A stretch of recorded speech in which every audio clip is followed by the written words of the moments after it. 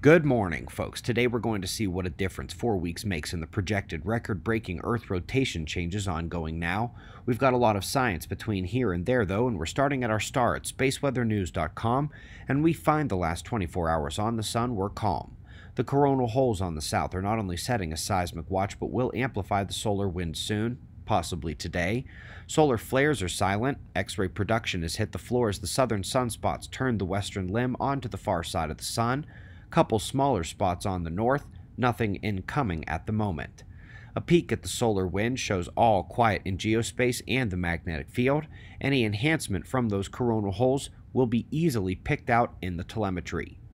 Now, before moving on, if you follow this on Facebook, it's not me. It's a fraud page pushing crypto stuff. About 30,000 people there think it's me, but our Facebook page can be found at the link in the description section below this video.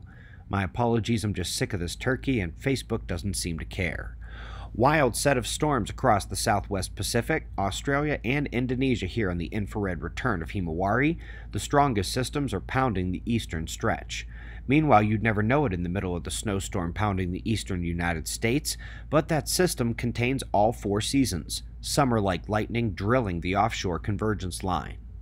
On January 29th, we showed that about half the top electroquake scientists, the professors, NASA scientists, and authors of the AGU's textbook on pre-seismic signals were getting together on a paper.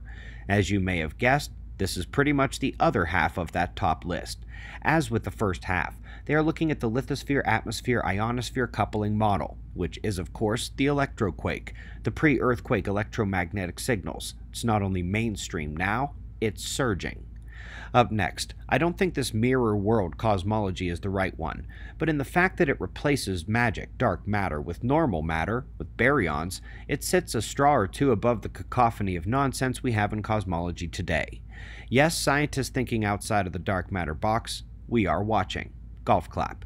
Hard not to watch this, hard to take your eyes off the new TNG 50 products from Illustris. Even though it remains a fully dark matter inclusive model, it is by far the best looking cosmological simulation available to the public.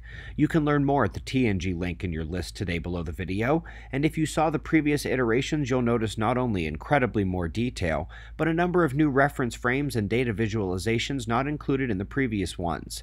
It may be prettier, but I can already tell just watching it We've got the same bias and errors from previous models that conflict with observations, and Dusty Plasma is still letting phantoms take the blame for its actions. Now, folks, we have been discussing much recently on the Earth's rotation glitches, the length of a day, and how they are minor versions of the big unlocking of the low velocity zone every 12,000 years, which allows the Earth to turn over today.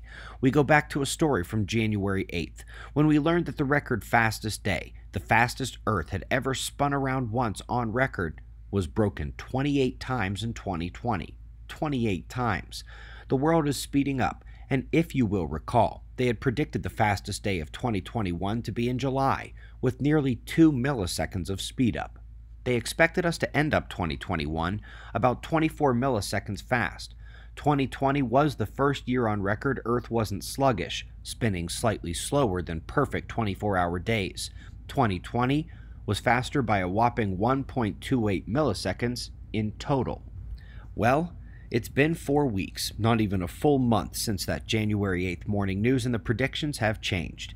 Interestingly, while their predicted fastest spin, the shortest day of 2021, is now projected for August and not quite as fast as the previous predicted fastest day. As a whole, the year actually is predicted to be faster. Now they expect more than double the millisecond deficit as we saw predicted at the start of the year, with a daily average of again more than double the previously predicted daily spin speed millisecond deficit.